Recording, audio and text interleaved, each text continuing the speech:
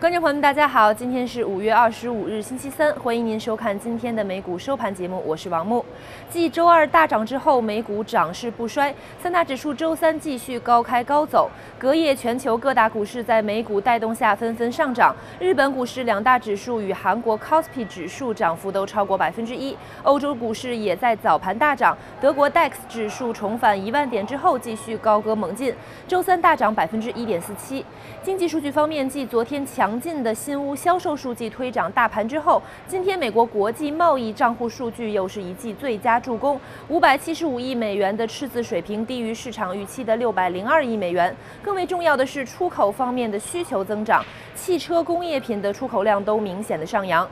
大宗商品方面，本周原油库存下滑四百二十万桶，之前库存持续上涨的势头开始减弱，甚至有见顶的迹象。油价在 EIA 原油库存数据推动下一度上攻，WTI 轻质原油期货价格攻破每桶四十九美元后小幅的回落，金价则继续下挫，盘中一度失守每盎司一千二百二十美元，下跌趋势仍在继续。美元指数虽小幅的回落，但站稳九十五点上方。美股三大指数在高开后迅速的向上，标普五百指数盘中一度逼近两千零九十五点，道琼斯工业平均指数涨幅也超过一百五十点。避险板块的消费者必需品和公用事业类股成为市场弃儿，而能源、金融则被消费者青睐。整个盘势几乎完全由多头控制，盘中窄幅震荡，高位运行。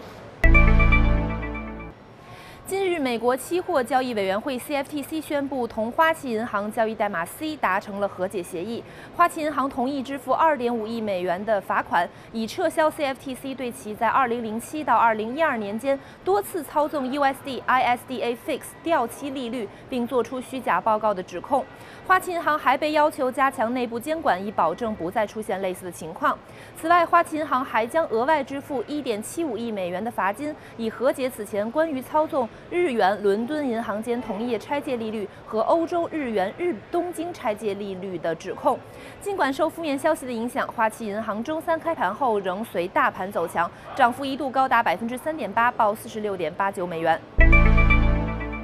据彭博社报道，美国移动运营巨头电话电报公司 AT&T 交易代码 T 宣布加入对雅虎交易代码 YHOO 核心互联网业务的竞购中。此前，AT&T 通过其持股子公司 YP Holdings 对雅虎进行了报价与洽谈，现在这一个子公司已经退出竞争。目前，AT&T 的同业竞争对头 Verizon 交易代码 VZ 也对收购雅虎的核心互联网业务十分感兴趣，但是 Verizon 报价并不具有竞争力。因此，AT&T 仍领跑此次收购。受消息影响，雅虎股价周三大幅下挫百分之三点九七，报三十六点零四美元。